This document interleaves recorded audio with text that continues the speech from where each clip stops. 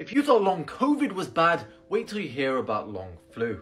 Now, we're all quite literally sick to death of hearing about viruses, and COVID was obviously a massive pain where the sun don't shine, but what it did do is take absolute truckloads of funding and shove it into research.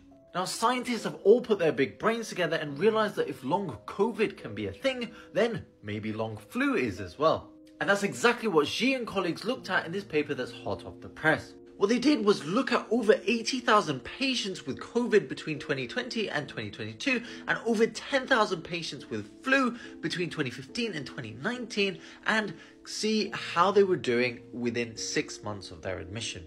These curves compare the rates of death between the two conditions, and it's obviously way higher in COVID, but that doesn't tell the full story. You see, in patients who had the flu compared to COVID, twice as many were likely to have a long term cough, and around 10%